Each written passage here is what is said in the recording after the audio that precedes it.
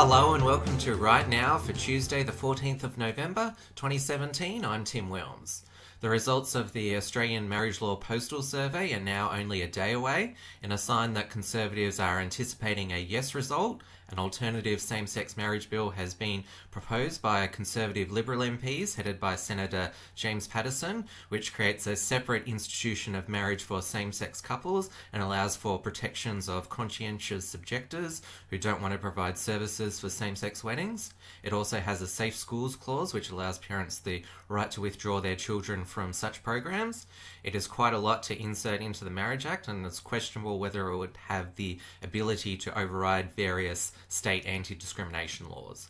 Senator Dean Smith is proposing to introduce his own private members bill immediately following a yes outcome. It would appear that the battle over same sex marriage certainly does not end with the results of this survey, and a parliamentary showdown is to follow. Three new senators were sworn in yesterday after a countback to replace three of the four senators found ineligible by the High Court due to dual citizenship. Jordon Steele-John and Andrew Bartlett replaced Green Senators Scott Ludlam and Larissa Waters. The replacement for National Fiona Nash, Liberal Hollie Hughes, her appointment has been postponed as she has been referred to the High Court herself as she currently holds an Office of Profit under the Crown. However, the big story was the replacement for One Nation's Malcolm Roberts. Uh, Fraser Anning quit the party immediately after being sworn in. Apparently, Pauline Hanson wanted him to stand aside for Malcolm Roberts to return. This is quite a low political act by Anning to abandon the party that got him elected. If you do not feel you can serve your party, then you should quit the Senate completely, not defect and sit as an independent.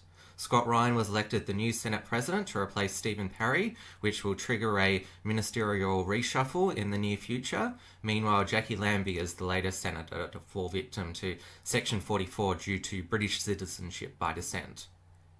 New Zealand Prime Minister Jacinda Ardern continues to virtue signal on social justice issues. First, it was stating that climate change was the greatest challenge facing our generation.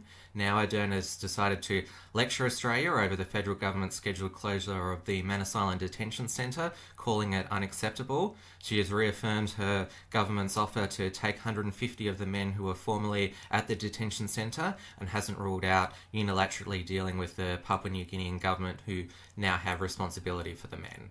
It is almost like New Zealand is going through a rerun of Australia in 2007 after the election of Kevin Rudd, and we know how that ended for us here, so New Zealand is in for a rough ride. United States President Donald Trump tweeted a response to North Korean leader Kim Jong un, who called Trump old by stating that he would never call him short and fat and hope that they could still be friends. Of course, Trump's critics say that this is an immature insult, unbefitting of a president, and is dangerous given the current nuclear tensions between the two countries. However, people might like to look at the insults that Winston Churchill levelled at Adolf Hitler during World War II, which included calling him a bloodthirsty gutter snipe. Nobody would surely argue that uh, Churchill was an immature and unstatesmanlike leader. Thanks for watching. Please like, comment, and subscribe, and check back here tomorrow to see what is happening right now then.